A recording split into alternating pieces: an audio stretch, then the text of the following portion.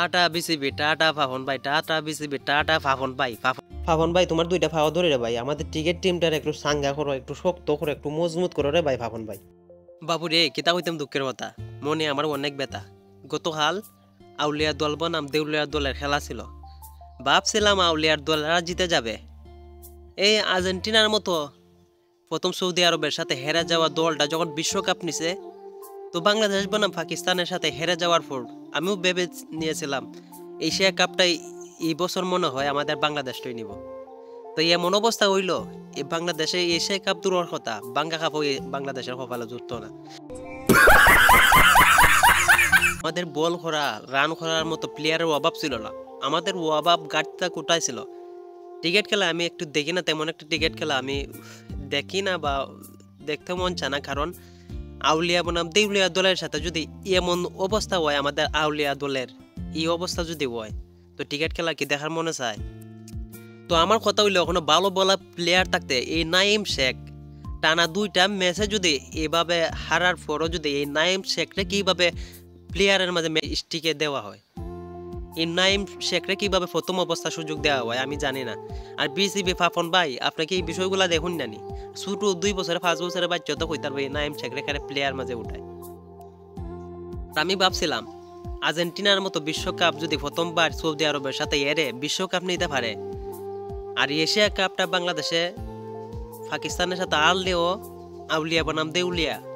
মানে বাংলাদেশ বনাম শ্রীলঙ্কার সাথে অবশ্যই ম্যাচটাই শ্রীলঙ্কারে হারাইয়া এশিয়া কাপটা আমাদের বাংলাদেশ নিব, অবশ্যই নিব। এটার মাঝে আমার কনফিডেন্স ছিল। আর ফুটবল খেলার চাইতে আমরা ক্রিকেট খেলা কেন পছন্দ করি? একটা দেশকে যখন ক্রিকেট প্লেয়ার একটা দেশকে নিজের, একটা দেশকে রিপ্রেজেন্ট করে বাইরে একটা কান্ট্রিতে নিজের একটা সুনাম, আনন্দ, অনুভূতি, কষ্ট, এগুলা দিকটা কিন্তু বাগাবাগি করি। যে কারণে আমরা টিকিট খেলাটা, আমরা দেখি বা যে টিকিট খেলাটা, আমাদের যে বাঙালির জনপ্রিয় খেলা হলো টিকিট খেলা। ফুটবল খেলার পাশাপাশি কিন্তু আমরা টিকিট খেলাকে বেশি গুরুত্ব দিই।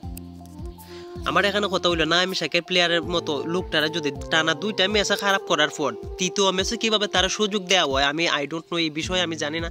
কিন্তু নাইম শেখের কারণে এই প্লেয়ারের এই অবস্থা, আমাদের কে, খেলোয়াড়ের কমতি ছিল না বলারের কমতি ছিল না প্লেয়ারের কমতি ছিল। আমাদের কোনো দিকে ঘাটতিটা ছিল না। ঘাটতিটা কোন জায়গায় ছিল? সেখানে সুযোগ দেওয়া হইল। সুযোগ দেওয়ার পর কি হইল?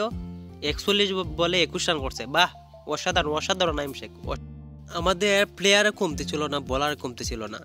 আফগানিস্তানের সাথে তিনশো চৌত্রিশ রানে বাংলাদেশ জিতে যায়। যে জায়গায় তিনশো চৌত্রিশ রান আইস স্কোর করে, আর সেই জায়গায় কিন্তু শ্রীলঙ্কা দুইশো আটান্ন রান করে। কিন্তু স্বাভাবিক, যে জায়গায় বাংলাদেশ পুরা কনফিডেন্স ছিল যে সত্তর পার্সেন্ট আশি পার্সেন্ট কনফিডেন্স বা আমি নিজে নিশ্চয় ছিলাম, বাংলাদেশ শ্রীলঙ্কার সাথে জিতে যাবে।